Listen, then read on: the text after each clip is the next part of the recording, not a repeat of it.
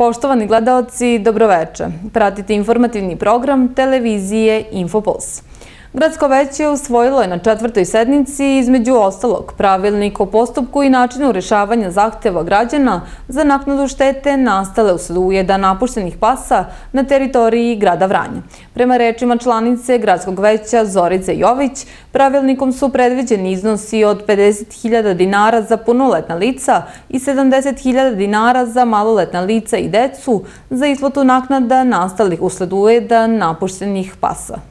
Usvojen je pravilnik o postupku i načinu rešavanja zahteva građana za naknadu štete nastale usled ujeda napuštenih pasa na teritoriji grada Vranja. Taj pravilnik do sad je u jednom obliku od ranije postojao, ali je pretrpio određene izmene. Kako postoji veliki broj zahteva po ovom problemu, moralo je da se usvoji pravilnik koji će stupiti na snagu. Dalje, doneto je rešenje o obrazovanju organizacijonog odbora za kulturno-turističke manifestacije pod pokroviteljstvom grada i nazivom Vranjsko kulturno leto za 2016. godinu. Takođe je formirana komisija za van telesnu oplodnju koja će se baviti svojim resorom u okviru ovog, ove oblasti.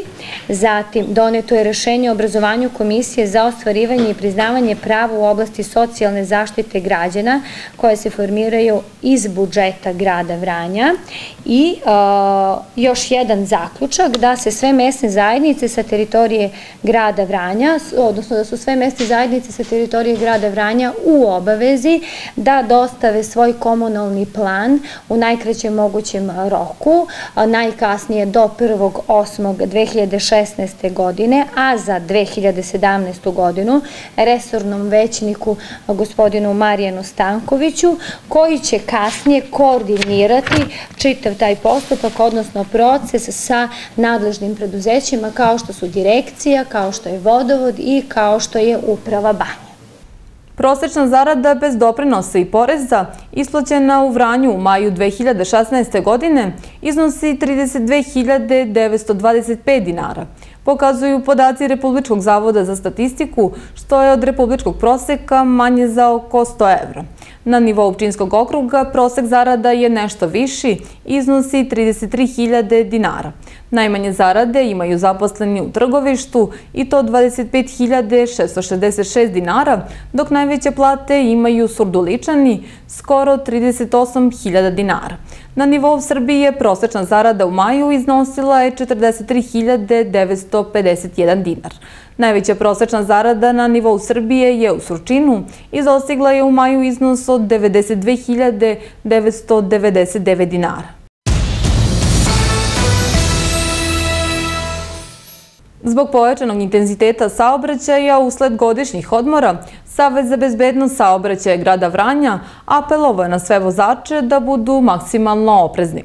Prema podacima, u protekle tri godine, u julu i avgustu na teritoriji grada zabeleženo je 80 nezgoda, tri lica su izgubila život, a 115 teže i lakše povređeno.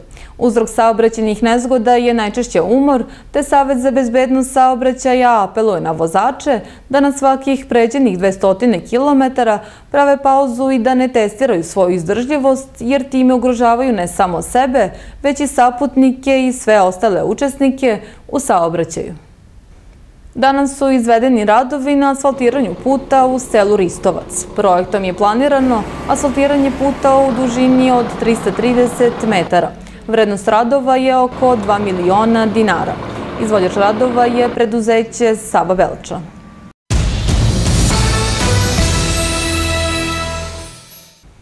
U toku su zemljani radovi na izgradnji parking prostora u ulici Dunavskoj kod zdravstvenog centra. Prema projektu predviđena je izgradnja parking prostora površine 1200 metra kvadratna na kojem će biti obeleženo 55 parking mesta. Izgradnjom pomenutog parkinga biće rasterećen saobraćaj u ovom delu grada. Predviđeno je da parking bude otvorenog tipa i da se plaćanje vrši po tarifi za prvu gradsku zonu. Ovaj projekat se realizuje iz komunalnog programa za 2015. godinu. Ugovorena vrednost radova je 4,3 miliona dinara. Izvođač radova je preduzeće Saba Belča. Aleksandar Janjić, član gradskog veća za poljoprivredu, agroekonomiju i razvoj sela, zajedno sa Nebojšom Popovićem iz stručne službe za poljoprivredu, obišao je Gornji i Donji Vrtogoš, gde je sa meštanima razgovarao o stanju poljoprivredne proizvodnje i problemima u ovoj oblasti. Aleksandar Janjić, član Gradskog veća za poljoprivredu, agroekonomiju i razvoj sela, zajedno sa Nebojšom Popovićem iz stručne službe za poljoprivredu obišao je Gornji i Donji Vrtokoš, gde je sa meštanima razgovarao o stanju poljoprivredne proizvodnje i problemima u ovoj oblasti. Uveli smo novu praksu da neposredno na terenu kontaktiramo sa poljoprivrednim proizvođačima i zajedno dođemo do najboljeg rešenja. Svi se pozivaju da je poljoprivreda naša strateška grana, ali su dosadašnji rezultati nezadovoljavajući. Planiramo da to promenimo i da zajedno sa proizvođačima kreiramo agrarni budžet budžet za narednu godinu. Partnerski odnos je veoma bitan i smatram da samo na taj način možemo stvariti željene efekte. U narednom periodu posjetiti ćemo i ostala sela i razgovarati sa meštanima. Ovo područje posjeduje velike potencijale za unapređenje poljoprivredne proizvodnje i tu šansu ne smemo kao do sada propustiti.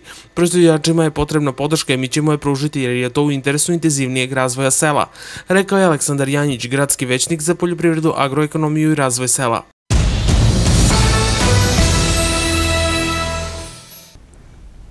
U saobraćenoj nezgodi koja se dogodila 5. jula ove godine u 3 časa na državnom putu kod Petlje u selu Čukarka, opština Prešavo, život je izgubio 60-godišnji muškarac iz okoline Šapca. Jedna osoba je teško, a tri lakše povređene.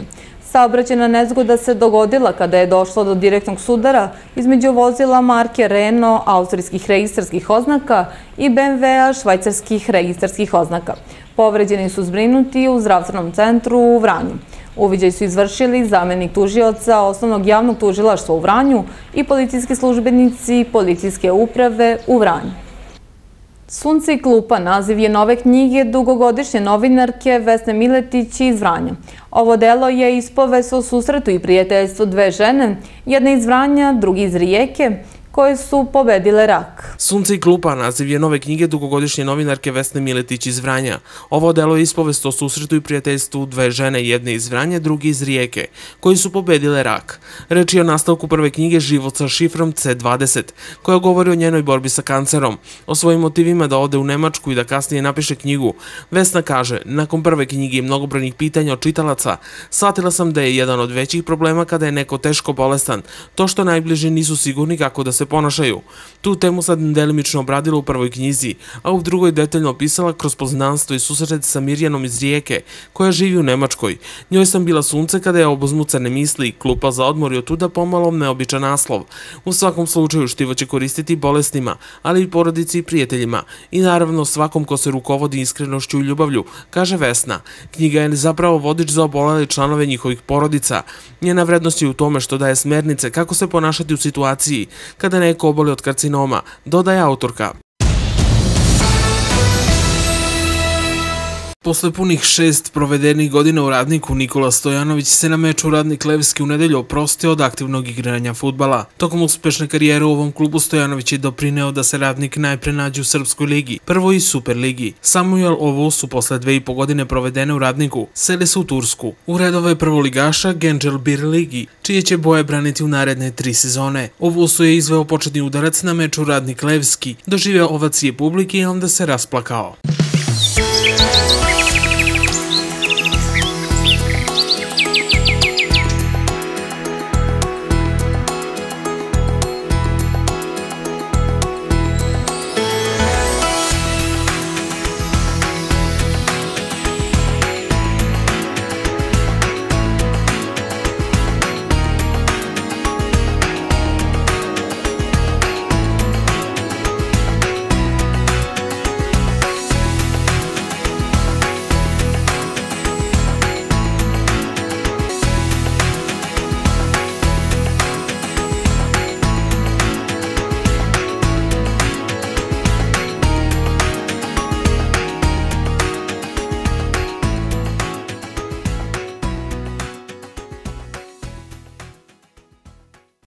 Pratili se dnevnik televizije Infopuls. Više informacija i na našem sajtu tvinfopuls.tv. Želimo vam prijetno večer.